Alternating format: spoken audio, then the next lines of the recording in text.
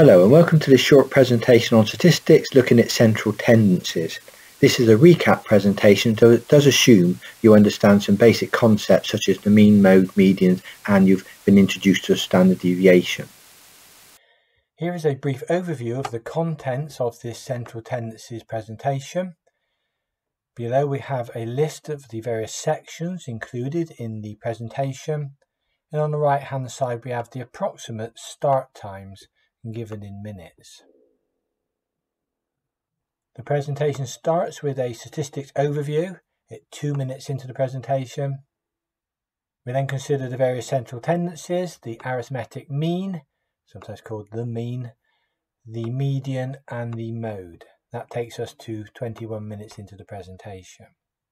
There is a brief discussion where the mean, the median and the mode are compared and contrasted and example applications offered. That's 23 minutes into the presentation. Some tutorial questions related to the mean, median and mode are stated at 26 and a half minutes into the presentation. And then we review what are called measures of dispersion. These relate to the spread of the data. Dispersion commences at 27 minutes. The measures considered include the range, and the standard deviation. Takes us to 30 minutes into the presentation. We then briefly review the normal distribution and how it relates to the standard deviation, and that's at 38 and a half minutes into the presentation. We also very briefly consider skewed distributions, and that's at 42 minutes into the presentation. Finally, there are further tutorial questions listed related to the central tendencies and also measures of dispersion. That's at 43 minutes into the presentation. Statistics is the science of collecting, classifying, analysing and ultimately using numerical data. It's extensively used by government departments, advertisers, scientists and of course engineers in order to obtain information and to display information a statistic must be representative of the distribution of data being considered. Statistics used are near the centre, in other words, measures of central tendency or central location, often called averages. The most common averages are the mean, the mode and the median, and we'll be looking at all three of those in this presentation. Firstly, the arithmetic mean, or sometimes simply called the mean denoted by the symbol x bar. The arithmetic mean, x bar, the average, of a set of values is the sum of the values divided by their number or their frequency.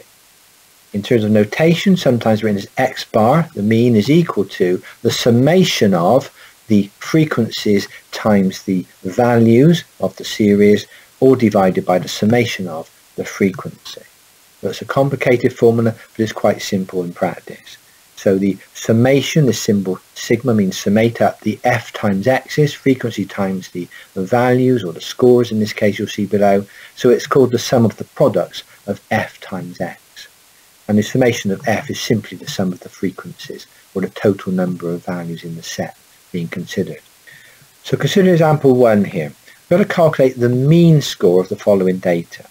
So we've got the score, which is denoted as X here. Scores go from 1, 2, 3, 4, 5 through to 6. Those are our score categories. And the frequency of each of the categories, or each of the score F, we've got 5 for the first score of 1. So the score of 1 occurred 5 times in this survey. The score of 2 occurred 8 times. Score of 3, 16 times. Score of 4, 15 times. Score of 5, 9 times. And score of 6, 7 times. What we're going to do now is work out the x bar, the arithmetic mean for this series. So using our formula, summation of f times x, all divided by the summation of f. We can write also, just for your reference, that could be summation of x times f over summation of f. It doesn't really matter uh, whether we multiply by the f first or the x first. So looking at the top line of this equation, for the first category, the score of 1, it occurred 5 times. So we will have 1 times 5. We're actually doing there x times f, but it doesn't really matter. Looking at the next category, we're going to add to that the score of 2 times 8. So 2 occurred 8 times. Then we're going to add to that the next category. A score of 3 occurred 16 times, so that would be 3 times 16. Add to that the next category. 4 occurred 15 times, so 4 times 15. And looking at the last categories, I've got 5 occurred 9 times, plus 6 occurred at 7 times. That's all divided by the summation of the frequencies, simply adding up the frequencies 5 plus the 8 plus the 16 plus the 15 plus the 9 plus the 7. So doing the numbers on this, on top line 216 when you apply your BODMAS to the top line, and on the bottom line adding up the frequencies we get 60. Doing the sum on that, 3.6. So 3.6 is the mean average score for that set of data. Exercise 1 here. Exercises related to calculating the arithmetic mean. We've got five machine bars, the turn bars here, are measured and their diameters in millimeters were found to be 16.83 millimeters, 16.02 millimeters, 16.02 millimeters, 16 and 16.03 millimeters. We've got to find their mean diameter. So from our formula, the x bar is equal to the summation of the fx divided by the summation of the f's. So in this case, looking at our series, we've got two diameters of 16.03 in our um, listing above, and we've got plus two diameters of 16.02, again looking at listing above, plus finally one times a 16 millimeter diameter. That's all divided by the summation of the frequencies, which would be 5.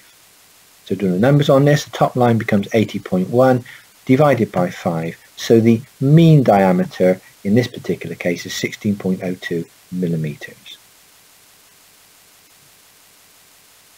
Exercise 2 here, we've got the diameters of 8 pipes being measured and we've got a list of the 8 pipes here in the question. We've got to calculate the mean diameter of the pipes.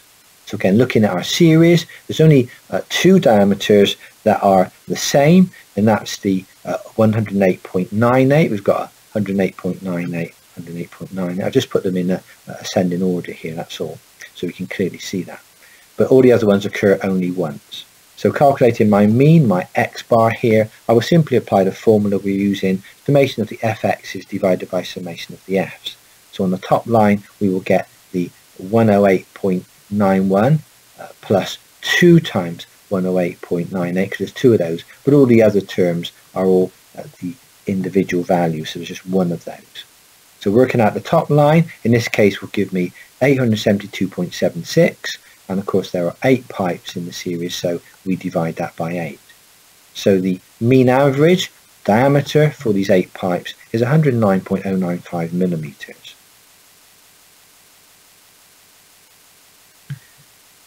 exercise 3 here we're given that 22 large bricks have a mean mass of 24 kilograms and an 18 similar bricks have a mean mass of 23.7 kilograms We've got to find the mean mass for 40 bricks. When we add all the bricks together, we get 40 there. So in this case, to work out the x bar, back to our formula again, we've got 22 is the frequency, the f, and that's multiplied by the, uh, the mass of the 22 large bricks, which is 24 we're given in the question. And we add to that 18 is the frequency of the, they're called similar bricks here, that have a mass of 23.7 kilograms. That's all divided by the 22 plus the 18, a number of bricks. So doing numbers on this, the X bar in this case is 954.6 divided by the total number of bricks, which was 40. Gives us an average value of 23.865 kilograms.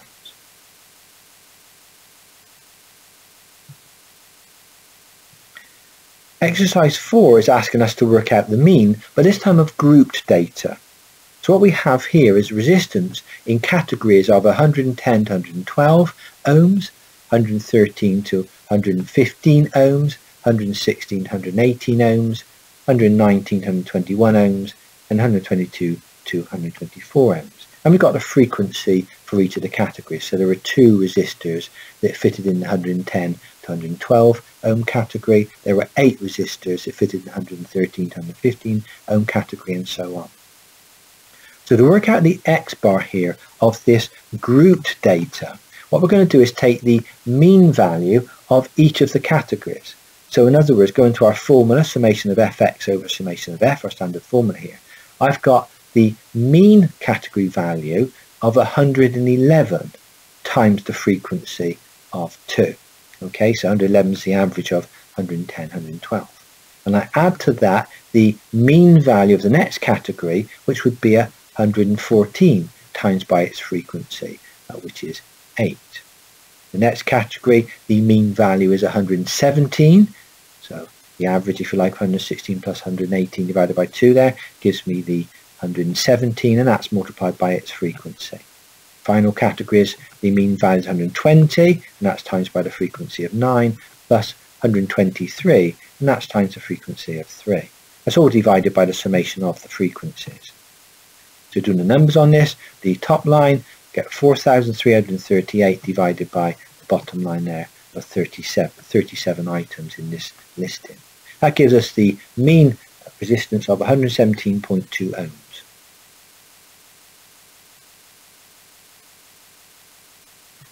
The next central tendency we're going to look at is called the median. Now we need to be careful with the median um, because it depends on whether it's an odd or an even data set as to how we apply it. So let's first of all look at the median of an odd set of numbers. The first thing we must always do with the median is to put our numbers in the ascending or descending order of size. That's the first thing you must do. They're not always given in that way in the question, but we must do that. Once you've done that, the median is simply the value halfway along the data set. So for example, in this uh, example 2 here, we've got an odd set of data here. We've got 1, 2, 3, 4, 5, 6, 7, 8, 9. There's 9 items of data. That means the middle term will be the fifth term in the series. So when the values are in ascending order, which they are here, then it's the middle term will be the median. We've got four numbers to the left of it and four numbers to the right of it. We don't care about their magnitudes. It's just that we got the symmetry of the data set there. So for an odd set of data, it's simply the middle term in the series gives you the median. So the median in this case is 6.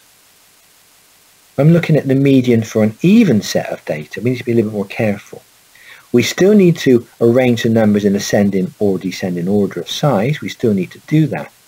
But with an even set of data, there are actually two numbers in the middle.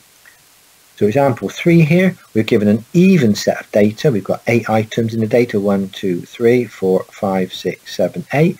So what we find is we have two numbers in the middle of the series.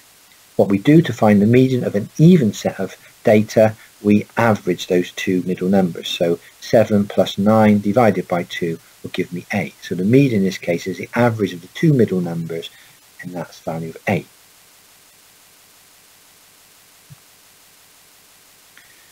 Example 4.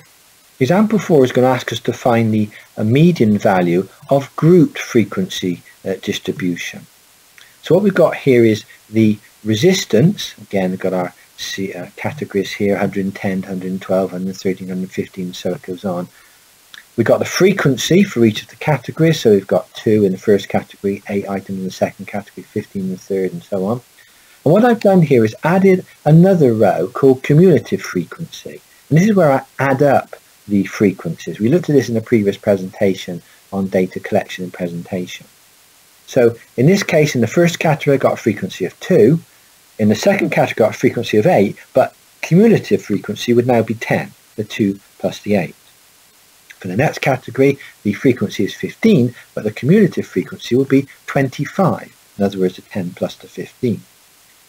Next category, I've got a frequency of 9, adding that to the 25, that gives me a running total, if you like, cumulative frequency of 34.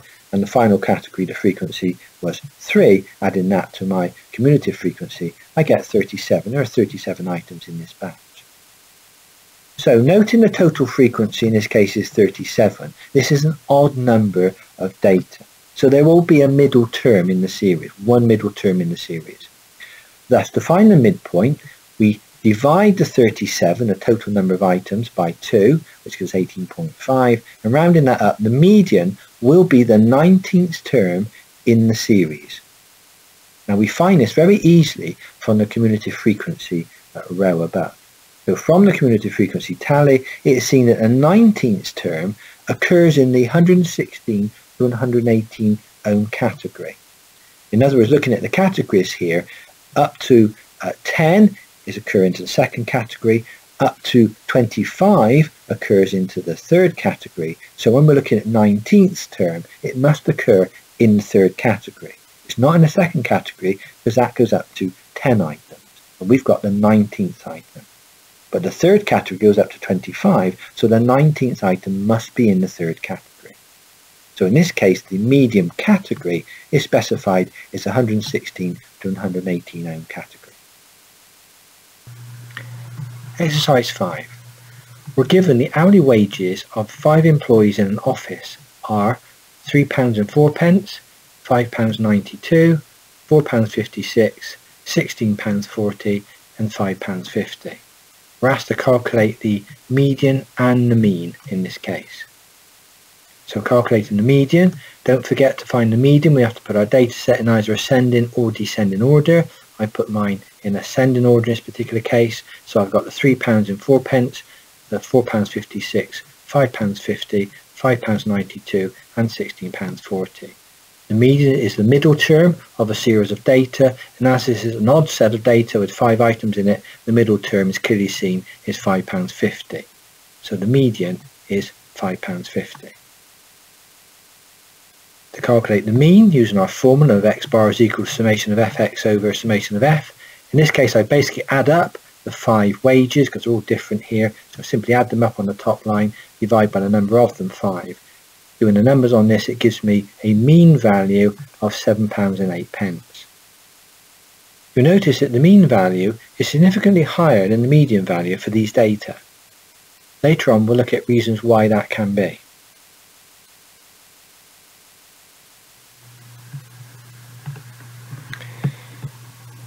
Okay, exercise 6 here, we're asked to calculate the median score of the following 60 scores.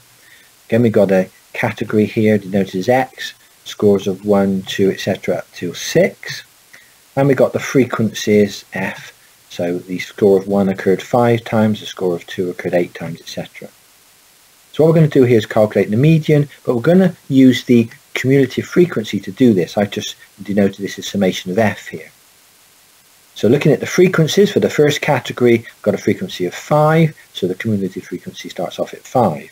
Looking at the second category, we've got a frequency of 8, so the cumulative frequency is 5 plus 8, it gives me 13. Looking at the third category, the frequency was 16, so the cumulative frequency is 13 plus 16 is 29. Fourth category, frequency is 15, so the cumulative frequency is 29 plus the 15 is 44. Fifth category, frequency is 9, so the cumulative frequency is 53, and then finally the final category, the category 6, um, the frequency is 7, so the total frequencies now is 60. So noting that 60 is even set of data. So now it means the median will be the average of two middle terms. So what are those middle terms? Well, 60 divided by 2 will give me 30, so it will be the 30 and the 31st term in the series that we need to consider. Now again, this is very easy. Once you've got the cumulative frequency tally, it's very easy to find where these occur. So in category 3, for example, it says up to 29 items occur uh, uh up to category 3, and up to category 4, the score of 4, 44 items. So we can quite clearly see that the 30th and the 31st terms will occur in the category 4 there, where the score is 4. So the median in this case is simply stated as 4.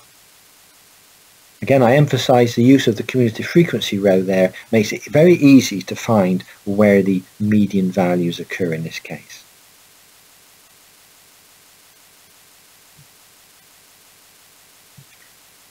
Exercise 7 here, we've got some group data here related to uh, voltages in electrical circuits. So we've got the volt uh, categories here. So 47 to 48 volts, we had a frequency of 1, there's one item in that range. 48 to 49 volts, frequency of 5, 49 to 50 volts, frequency of 9, and so it goes on. We've got to find the median voltage here. So again, I'm going to use the cumulative frequency uh, values in this particular case. So starting off in the first category, the 47 to 48 volts, we've got one item, so the cumulative frequency is 1. In the 48 to 49 category, the frequency is 5, so that gives me 1 plus 5 is 6 in the cumulative frequency row. Next category, 49 to 50 volts, the frequency was 9, so 9 plus 16 gives me 15 in the cumulative frequency row. I'll let you review the rest of the row there up to the 100 voltages that we've got in our table. So note the total frequency is 100, again it's even number data set, so there will be two items in the middle of our uh, series when it's arranged in ascending order. So the midpoint in this particular case is 50, so 50 and the 51st term of the series will be the median values we're looking for. From the cumulative frequency tally, we can clearly see the 50th and the 51st term will occur in the 51 volts to 52 volt category. Again, going back to our categories, in this category it's saying up to 32 items uh, occur in the 50 to the 51st uh, range, so up to that level the 32 items, but up to the 51 to 52 volt range, uh, 70 items occur there. So we can clearly see our 50th and our 51st term are in that category. So the median category is simply specified as 51 to 52 volts. And the final central tendency we're going to look at is the mode, and probably the easiest of all to determine.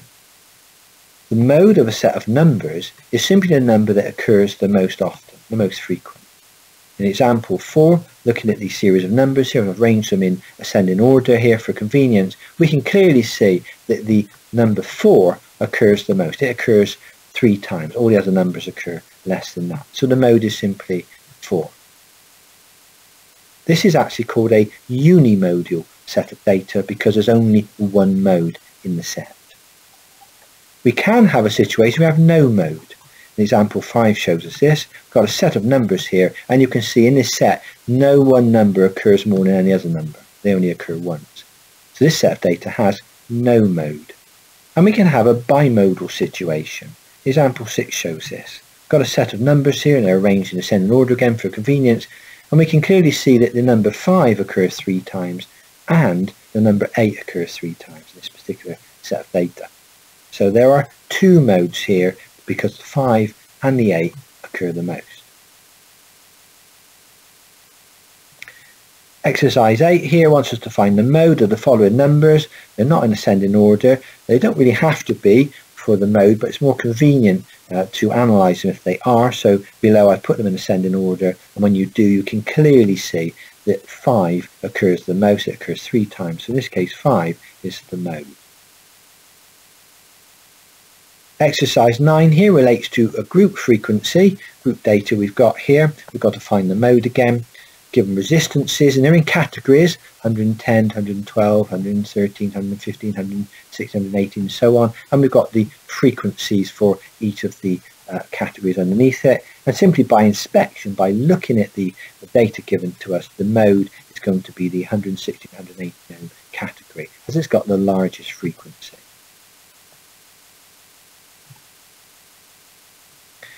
Let's have a little discussion now about the mean, the mode and the median and when to specify an average. So when do you specify the mean, the median or the mode? It depends on the applications as you'll see later. The arithmetic mean. This is the most common average used in statistical work, particularly in uh, engineering and manufacturing, looking at production rates and tolerances of components off production lines. It's very useful in those kind of instances. It wouldn't be so useful though if we were trying to find the average screw size that's used in a workshop because if we did work out the average screw size that probably wouldn't relate to the actual stock sizes of screw. So we probably want more like the mode we use in that particular instance. But generally speaking, in engineering, most data is continuous and the arithmetic mean is very useful. However, the mean can be misleading, especially if it has very extreme values in the series. Just take these numbers here, say their hourly rates for example. We've got a £9, a £10, £11, £12 and £100. When you work out the mean average using our formula, you add up all the uh, values and divide by the number of them, you get a value of £28.40. Now we're going to compare that in a moment to the median below, and you'll see why the mean has been affected by extreme values. Let's look at the median. The median is simply the halfway value along a series of numbers. It's quite simple to find. Not so often used in scientific work, but it doesn't get affected by extreme values as the median does. This is shown here. If we take the same set of numbers used above, the £9, £10, £11, £12 and £100, the median is simply the middle term of that series. So it's simply the £11. So in other words, when you compare the median to the mean value above, you can see how it didn't get affected by that extreme value of £100 per hour, whereas the mean did. The mean shows the average is 28.4, which is not really representative of the data there, when most people are in well below that value. Finally, the mode. The mode is the most popular item in a series of data, um, quite simple to evaluate and very useful for stock taking or stock control purposes. Exercise 10 here, we're asked to state which of the three averages, the mean, the mode or the median, would be preferable in the following different contexts. So A, a storekeeper required to keep a minimum stock of bolts that are commonly used in the workshop. B, an employer monitoring production of the works, production line. And C, a union wage negotiator involved with discussion with management over pay rises. Exercise 10 solutions here. I'll let you read them and consider them for yourself.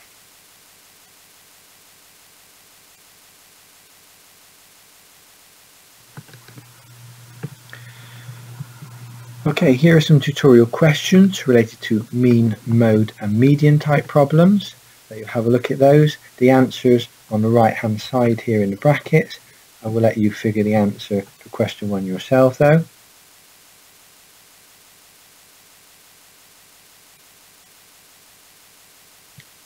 More questions on mean, mode and median problems. Again, the answers are in the brackets on the right hand side.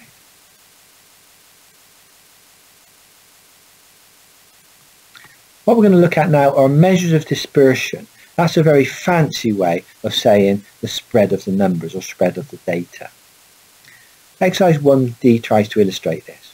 So in part A, we're asked to calculate the arithmetic mean of the numbers 14, 15 and 16. To do that, we simply add them up and divide by the number of them. Adding them up, 14 plus 15 plus 16 divided by 3 gives you the mean average of 15. In part B, we're asked to find the arithmetic mean of the numbers 33, 2 and 10.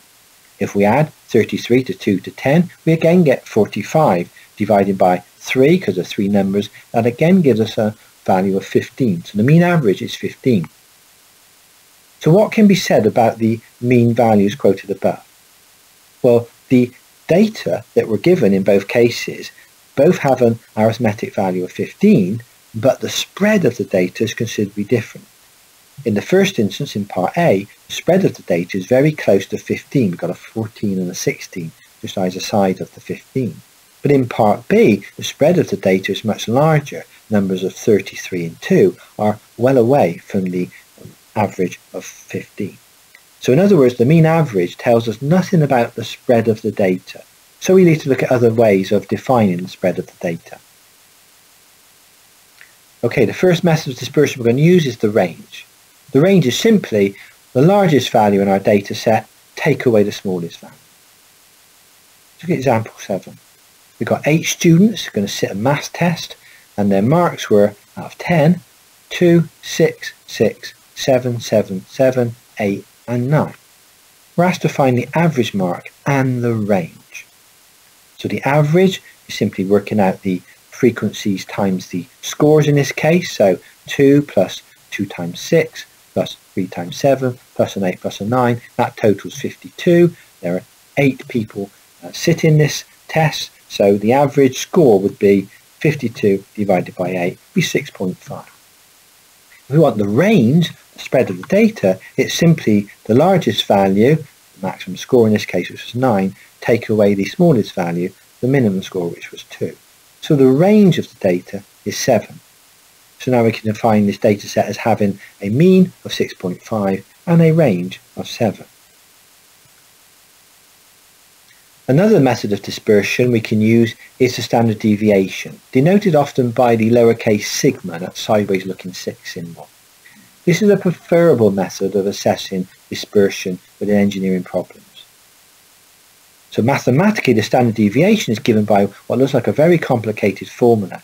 It's the square root of the summation of open bracket the frequencies times by in brackets x take away the x bar all squared and that's all divided by the summation of the frequency. So it looks like a very complicated formula here, given without proof here. There is a proof behind this. We're going to solve this using a tabulated method, and that's shown over leaf.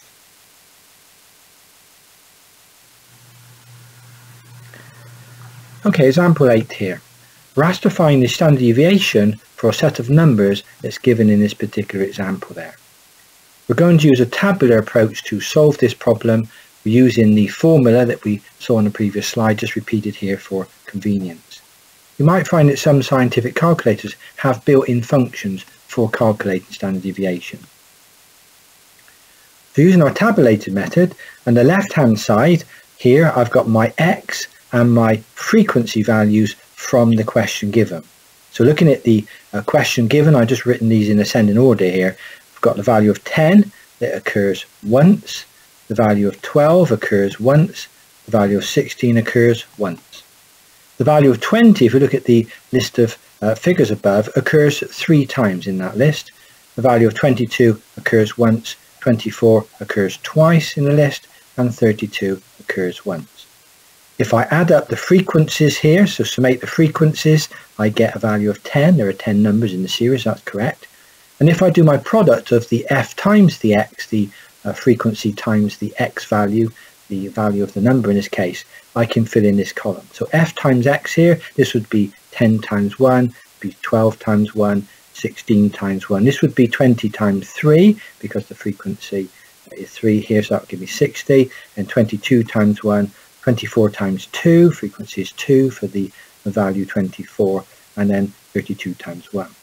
If I summate the fx values, I get 200, and we know from previous work to find the arithmetic mean, the x bar, it's the summation of the fx divided by summation of the f. So in this case, the mean value is 20. So what I've got now basically is this value of the equation. What I'm going to do now in the next three columns is work out the rest of the equation, again using this tabular format. So in the next column here, I've got x take away x bar. So x is in the left-hand column. So in this particular case, for the first row, I would have 10 as my x, and I take away my x bar, which is 20. So that gives me minus 10. The next row, I've got 12 as my x, and I take away 20 from my x bar, so I get minus 8. 16, take away 20, gives me minus 4. And for the next row, where the x value is 20, so 20 take away x bar, which is 20, gives me 0 and I've got 22 as an x, take away 20 for the x bar gives me positive 2, 24 take away 20 gives me positive 4, and 32 take away the x bar of 20 gives me 12. In the next column what I'm doing is simply squaring the previous column, so x take away x bar all squared. Now don't forget when you square a negative number it becomes positive, so in all this uh, column here all the numbers should be positive. So negative 10 squared gives me positive 100, uh, negative 8 gives me positive 64, and negative 4 is positive 16. Obviously 0 squared is still 0, 2 squared is 4, 4 squared is 16, and 12 squared is 144. The final column in the tabulation is f, the frequency, now times the x take away x bar or square. So in other words, it's the f column here on the left hand side there multiplied by uh, this column here. So 1, the F for the uh, first row is 1. So 1 times the 100 is 100. 1 times 64 is 64. 1 times 16 is 16. We've got 3 times 0 here, but of course that's 0. We get 1 times the 4 is the 4. We get 2 times 16. Uh, frequency is 2 for this row. So 2 times 16 is 32. And then 1 times 144 is 144. Now summate that column and that gives us 360. So what we've basically done with this tabular approach is now to work out that top line. This top line here is actually the last column in the table. This column here is the top line. We've already got the bottom line, the summation of f. We've already calculated that. That's up here in this column. So now dividing the top line by the bottom, so 360 divided by 10, and then square rooting, don't forget we've got to square root the entire uh, function here. Square rooting, we get plus or minus 6. Don't forget when you take a square root, there are always two answers, a plus and a minus answer. So 360 divided by 10 is 36, and the square root of 36 is plus or minus 6. So our standard deviation in this case is plus or minus 6. Example 8 continued here. So summarising the previous slide, our arithmetic mean, our x bar, is 20. Our standard deviation, our sigma, is plus or minus 6. Now in engineering problems, we're often interested in a plus or minus three standard deviations. We'll look at this in more detail on the following slides, but for the moment, just accept that. So we want to find the spread of the data as far as plus or minus three standard deviations are concerned. So that's from the mean. So the mean in this case, the x-bar, is 20 from above. And we're going to plus or minus from that 3 times 6, 3 times standard deviation. So that's 18. So the spread of the data from the plus or minus 3 standard deviations would actually be 20 take away 18, give me 2, to 20 plus 18 would give me 38. So using our plus or minus 3 standard deviations, the spread of the data would follow 2 right the way through to 38 in this particular case. If we go back to the range of the data, that will simply be the largest value take away the smallest value. And if we look at the data, that will be 32 take away 10. So the range would be 22. Okay, exercise 1s here. We're given a sample of snap links from a chain that was tested to destruction and the force that caused the failure was recorded in the table below. So in the first row we have the force in kilonewtons and then we have the frequency, the number of items that failed in the category stated. And notice the way the categories are listed here. In the first category we've got 47 to less than 48 kilonewtons. One item failed in that category. Uh, 48 to less than 49 kilonewtons. Five items failed. 49 to less than 50 kilonewtons. Nine items failed and so it goes on. When you come to do the calculation on this, make sure you take the midpoint of each of those categories. So for the first one, it'd be 47.5, for the second, 48.5, then 49.5, and so on. What you've got to do is work out the mean and the standard deviation of the force causing the failure, and use the tabular approach shown in the previous slide. The answers are given here for your reference. The mean is 51.4 kilonewtons, and the standard deviation is plus or minus 1.4 kilonewtons. That's one standard deviation. I should just say as an observation here that the force values given there are in histogram format. In other words, they're continuous data. What you've got here are categories of 47 to less than 48 kilonewtons, the first category, and then the second category got 48 to less than 49. So that's continuous right the way from 47 through to less than 49. In the next category, you've got 49 to less than 50, so that continues the uh, pattern onward. So this is continuous data from the left-hand side, 47 kilonewtons, to the right-hand side at less than 56 kilonewtons. And that's just for reference. Okay, I'm very briefly going to talk about the normal distribution here. I'm not going to get heavily into this, it's just an overview. I'm not going to do any particular calculations on this, that's for a later presentation. But I'm just going to outline what a normal distribution is and how it relates to the standard deviation. If the distribution is large and is reasonably symmetrical, it's illustrated by a normal distribution curve. The figure 1 here, a normal distribution, uh, shows us a bell-shaped curve where almost 99.5% of the population is encompassed within plus or minus three standard deviations of the mean, the x-bar value.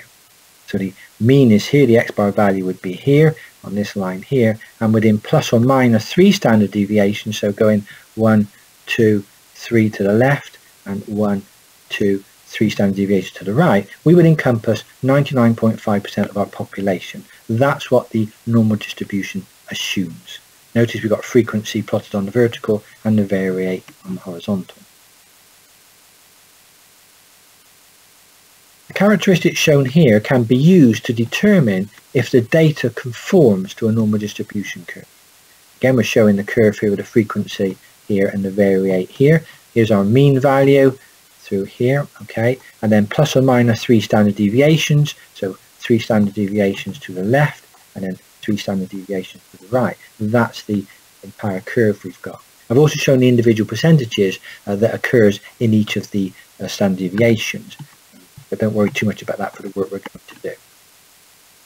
If we now apply this check that the data must lie within plus or minus three standard deviations of the x bar value, if we go back to exercise 8, for example, in exercise 8, the x bar plus or minus 3 standard deviations was 51.4 kilonewtons for the x bar, plus or minus a standard deviation, which was 1.4 in that particular case kilonewtons, and that's times by 3.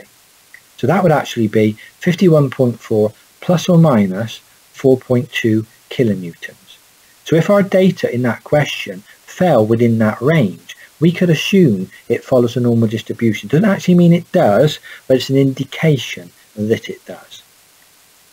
Thus the above value should lie within the range of 55.6 kilonewtons, that's the 51.4 plus 4.2, and 47.2 kilonewtons, that's 51.4 take away 4.2. And if you go back to the data in exercise 8, you'll see that it does. So that suggests it conforms to the normal distribution. So there are three considerations as to whether your data set might follow a normal distribution. The first is the shape. Does it look like a bell shape? Is it symmetrical about the x-bar value, the mean value? Are all the data that have been collected falling within the plus or minus three standard deviations bandwidth of the diagram? And are the mean, the mode and the median all of a similar value? If you can tick the box to all three of those characteristics, then your data may well follow the normal distribution curve. It doesn't actually mean it does, but it's a good indication that the data is normalized. And finally, here are some skewed distributions. In the middle, we have the symmetrical distribution we reviewed on the previous slide. This is the distribution where the mean, the mode, and the median all have very similar values. the left hand side here we have the positive skew of the distribution. Here the peak of the curve where the mode occurs is to the left of the median. Here is the mean to the right of the median. And on the right hand side we have a negative skew distribution. Here the peak of the curve where the mode occurs is to the right of the median and the mean is shown to the left of the median. Here are some tutorial questions on central tendencies and standard deviation. So they involve maybe the mean, the mode or the median, different questions, and also working out the standard deviation. The answers again are shown in the brackets on the right hand side.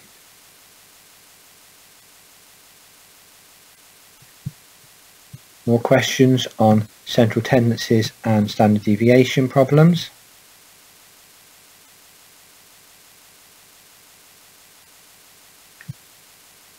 And the final question here on central tendencies and standard deviation. This question does involve constructing a histogram, something we looked at in a previous presentation. It suggests to use five classes to group the data. It wants you to work out the mean, the standard deviation, and the variance of the group data. For reference, variance is simply the standard deviation value squared.